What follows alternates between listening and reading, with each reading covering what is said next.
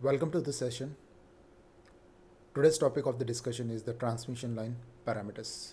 So you have to study the different parameters and derive the different parameters.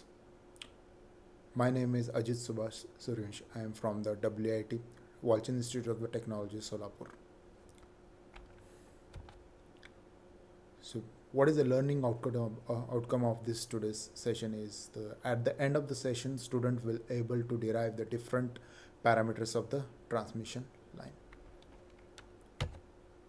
Well, to before proceed further, you should have a basic knowledge of uh, solving the differential equation and uh, you should have a knowledge of uh, circuit analysis that is again it is a basic level and you should have a knowledge that knowledge of a lossy and lossless transmission line equation that I have covered in the previous session. So reflection in the transmission line. So what is meant by the reflection in the transmission line as we have studied that uh, there is a two component in the transmission line equation. One is the transmitted component that is a normal component and other is the reflected components.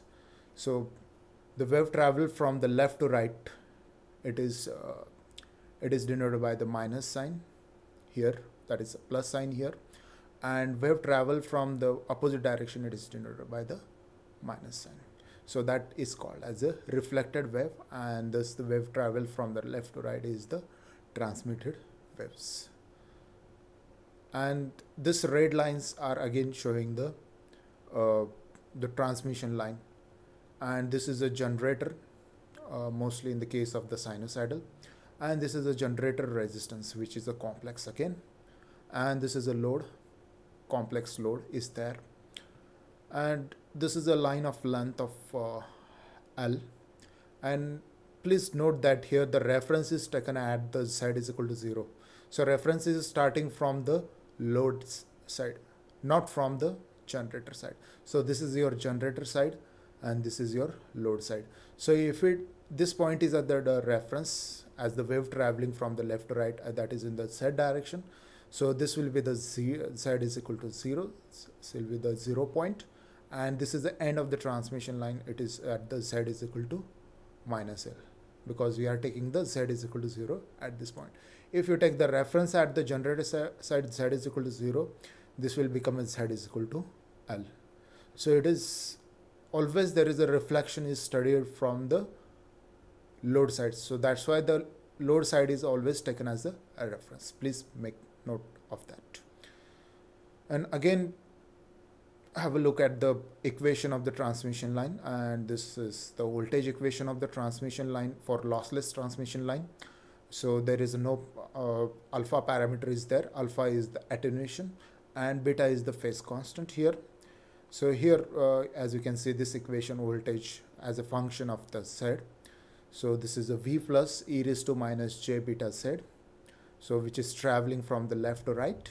And this is, is the V minus e raised to plus j beta Z traveling from the right to left. So this is the voltage equation. I have uh, the proof of the equation already derived in the previous sessions. So this is the current equation and in the current equation this is Z0 and uh, this is the characteristics impedance of the transmission line this is the characteristics impedance and the characteristic impedance is real for a lossless transmission line. Again we are considering the lossless transmission line for the simplicity. So this characteristic impedance lines is uh, complex in case of the lossy transmission line. So this is the voltage and current equation.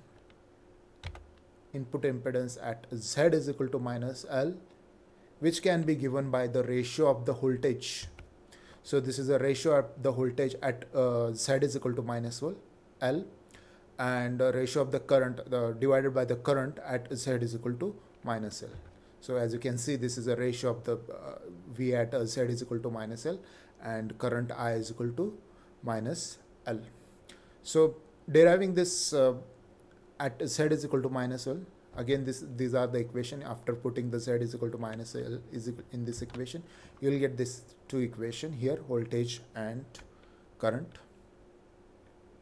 And after dividing these two equation, you will get the input impedance at the generator side so this is uh, input impedance at the generator side so this is a Zin and this is a characteristics impedance and this is a phase factor. As you can see this is a plus j beta phase factor phase uh, coefficient and here minus j beta uh, negative phase coefficient.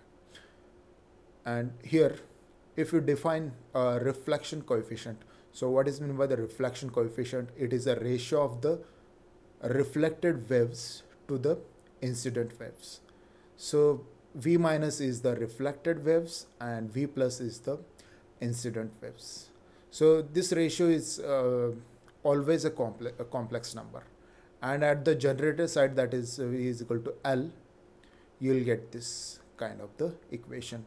So this is a, a capital gamma l gamma l is equal to v minus divided by v plus. So this is the reflection coefficient at the load. That is z is equal to 0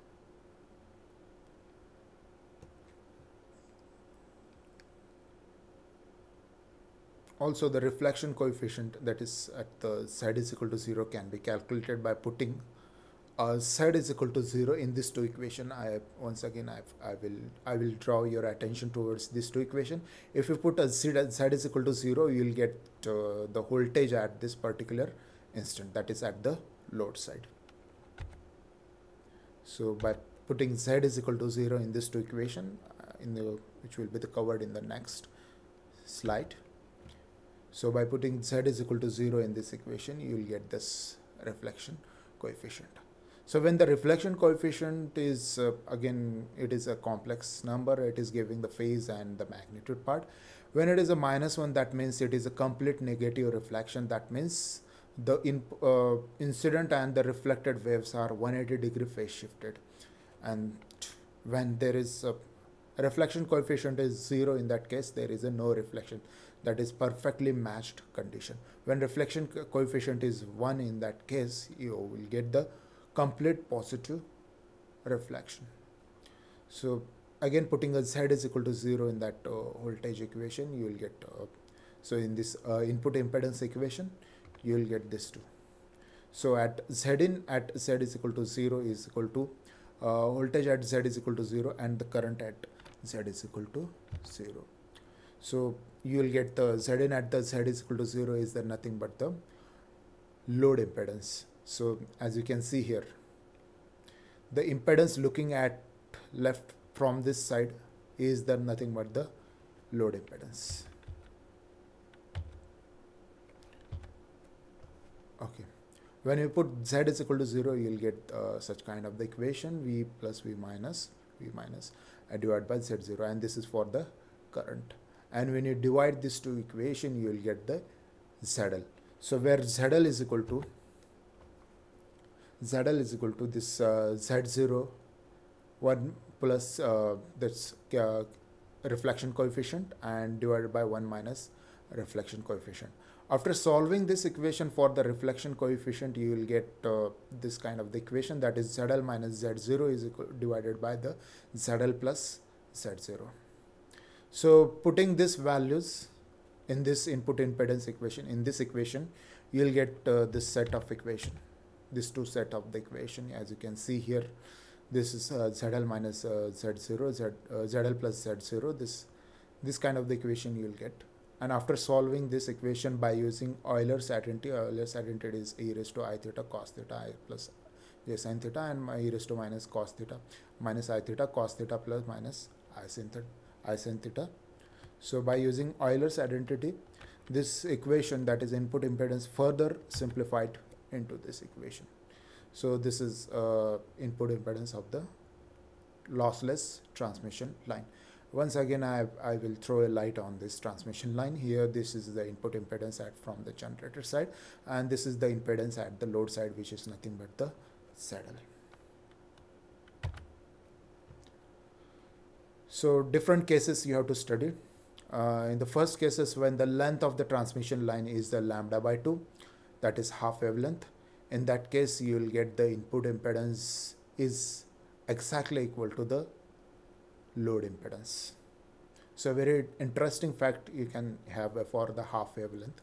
and it is also called as half wavelength transformer this kind of the transmission line is called as half wave transformer when length of the transmission line is uh, lambda by 4 that is also called as a quarter wave transformer. In that case you will get the input impedance uh, characteristic impedance square divided by z0 as you can see this input input impedance is inversely proportional to the load impedance. And what happens when the length of the transmission line is uh, integer multiple of the lambda by 2 lambda by 2 so take a paper piece of paper and uh, calculate input impedance in this case. When the input uh, when length of the transmission line is n into lambda by 2 so again there is this uh, reflection in the transmission line. So case when ZL is equal to 0 this is a perfectly matched condition. There is no reflection from the load. And when load impedance is a purely imaginary that is purely reactive. Input is input impedance in that case also a reactive. Voltage standing wave ratio. Next. In the voltage standing wave ratio is the ratio which is defined as the voltage maximum magnitude of the voltage maximum divided by magnitude of the voltage minimum. When you solve for the voltage maximum and minima you will get something uh, the voltage standing uh, wave ratio is you will get this relation 1 plus uh, that is magnitude of the reflection coefficient and 1 divided by 1 minus magnitude of the reflection coefficient. So this is a reflection coefficient for the wave and this is at the generator side and this is at the reflector side. This is a load side. As you can see this uh, voltage standing wave ratio is increases because voltage standing wave ratio is the ratio of the maximum divided by minimum so there there are three cases in which the it has a different uh, voltage standing wave ratio. So third one have a highest voltage standing wave ratio. So these are the reference